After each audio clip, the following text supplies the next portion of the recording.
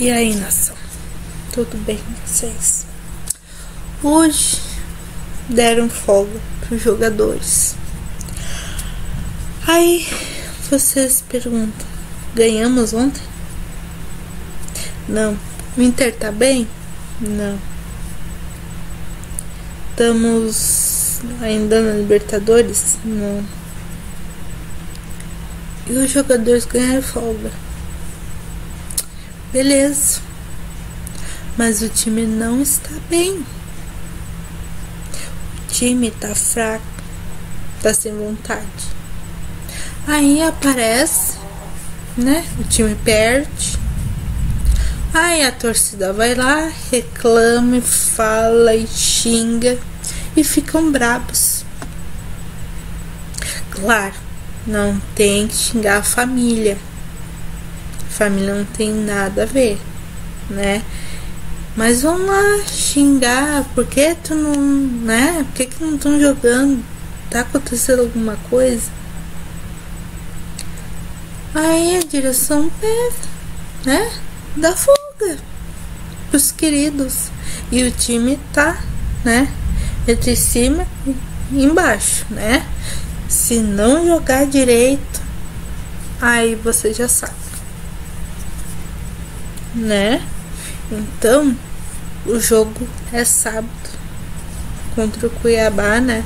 No Beira Rio. E os lindinhos estão de folga hoje.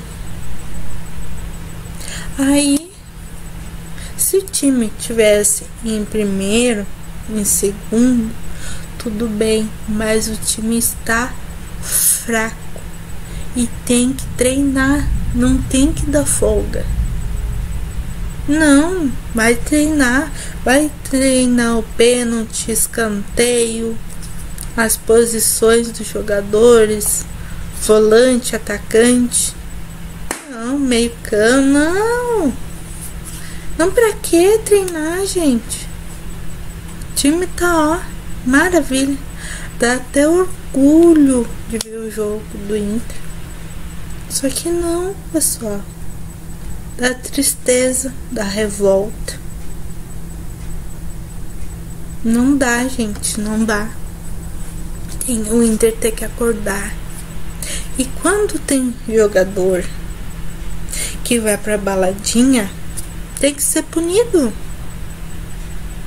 Ó, uh, vão uh, descontar de salário, vai ficar suspenso não, não tem que ir, gente. O time tá mal. Ainda querem ou pintar o cabelinho, né? Ou fazer tatuagem, ou em festinha, né? Mas não, gente. Não. Eles não estão nem aí, ó. Tem vários, vários falando que eles não estão nem aí pra torcida, pro clube. O que interessa é isso aqui, ó é revoltante.